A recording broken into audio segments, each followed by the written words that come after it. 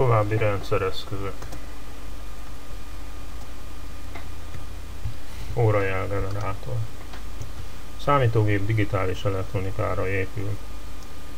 Láttuk már a számítógép blokkvázlatánál, hogy az órajelgenerátor adja a processzornak az ütemjelet. Képzeljük csak el, milyen kavarodás lehetne abból, ha különböző egységek össze-vissza küldenék jeleiket, hiszen egyik előbb elkészülne mondjuk, mint a másik. Ez persze csak az egyik gond, ami miatt a számítógép úgynevezett szinkron módon működik. Ez azt jelenti, hogy a különböző egységek egyazon ütemre működnek. Ez az ütem az órajel, mely egy állandó frekvenciájú impulzus hozzatot jelent. Ezt a jelet állítja elő az óra, órajel generátor. Helyes sebességétől, gyorsaságától függ elsősorban a számítógép művelet végző sebessége. Ez az eszköz az összes elemre be van kötve, de csak egy irányban. Ez az egyetlen egység, melyet nem vezérel a CPU. A BIOS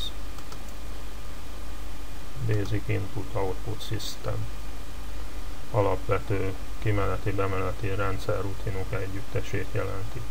Annyit szeretnék elmondani, hogy már az említett ö, ö, melléket, tehát a lemezen melléket ö, kép, illetve videóanyagban van három olyan film is, amely a BIOS működését mutatja be.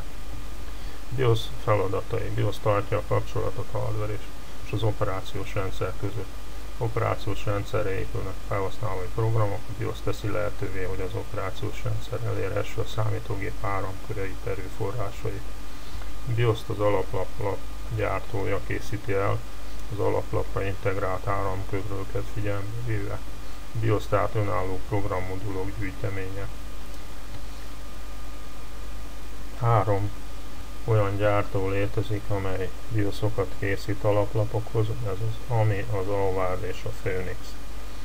Ö, alapvető különbség, amit először az ember észrevesz, hogy a induláskor a megjelenő képernyőben ezek megjelennek, ezek a gyártócég függő feliratok, valamint a hibakódokban, úgynevezett fügykódokban van még különbség, amelyekkel szintén fogok foglalkozni. Ugye azt már láttuk, hogy a szoftverek azok egymásra épülnek, egy ilyen hierarchikus lépcsőt alkotnak. Én legalul a hardware ezzel közvetlenül tartja a ROM BIOS a kapcsolatot, a, mint egy az operációs rendszernek a legalsó része, és hát az operációs rendszeren keresztül kommunikál a felhasználó a számítógéppel. Mi a boot folyamat? Boot folyamat az a operációs rendszer azon részének, amely folyamatosan a operatív tárban van, ennek a betöltődése. Lépései bekapcsolási önteszt, a feladata távfeszültség vizsgálata, overhood jel, ha rendben van, akkor, akkor tápjelküldése az alaplapnak. Működésbe lép ezután az alaplapon az órajel generátor, mert mely megadja az ütemjelet a processzornak. A processzor és a többi áramkör ezután működni kezd. A processzorban megtalálható az a ugrási cím, ahonnan az első utasítást be kell olvasni. Itt egy ugró utasítás van, mely átadja a vezérlést a rombiosznak. BIOS kiolvas egy jelzőbitet, mely alapján eldönti, hogy hideg vagy meleg indítás történt. Hidegindításkor lefut egy diagnosztikai program, ez a POST, mely hibaüzenetet generál, ezt postkódnak nevezik. Majd megkeresi ezután a, a betöltő rész az aktuális lemezen a boot recordot vagy boot szektort. DMA Direct Memory Access rövidítése. Közvetlen memória hozzáférést jelent. Vannak olyan eszközök a számítógépen, amelyek e, igénylik e, a közvetlen memória hozzáférést. Erre az áramkörre azért van szükség, mert a processzor úgy dolgozik, hogy minden adatot beolvas a regisztereibe. DMA maga is egy vezérlőegység, méghozzá speciális esetek memória műveletek végrehajtására kiképezni. A műveleteket gyorsabban tudja elvégezni, mint a processzor.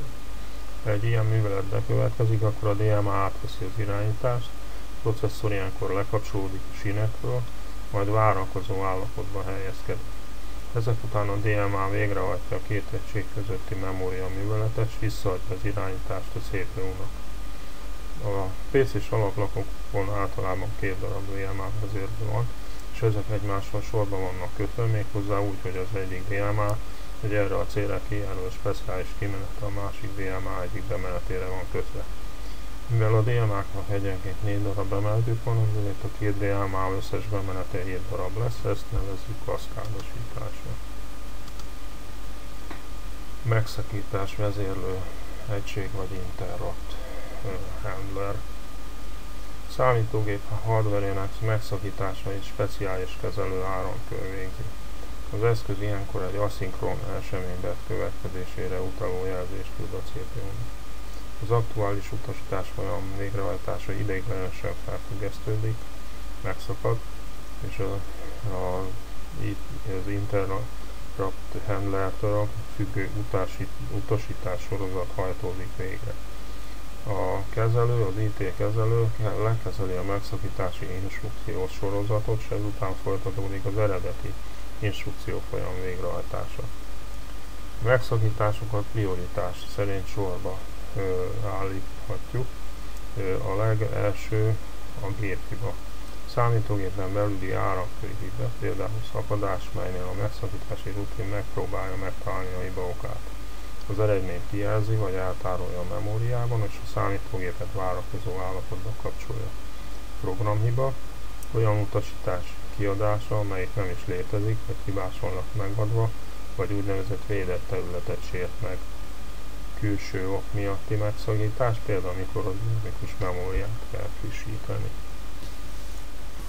Következő két képen a AMI és az Auvard cég BIOS beállításait láthatjuk, illetve azt szeretném még megjegyezni, hogy a DVD-n három olyan rövid filmet láthatunk, ahol angolul bemutatják nekünk a BIOS részletes beállításait, érdemes őket megnézni. Köszönöm.